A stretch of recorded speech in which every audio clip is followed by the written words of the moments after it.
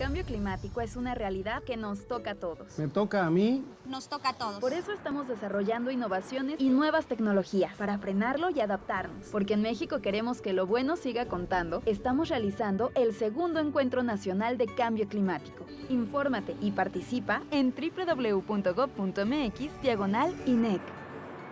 ¡Nos toca a todos! Cambio yo, cambias tú, cambia todo. Instituto Nacional de Ecología y Cambio Climático, Semarnat, Gobierno de la República.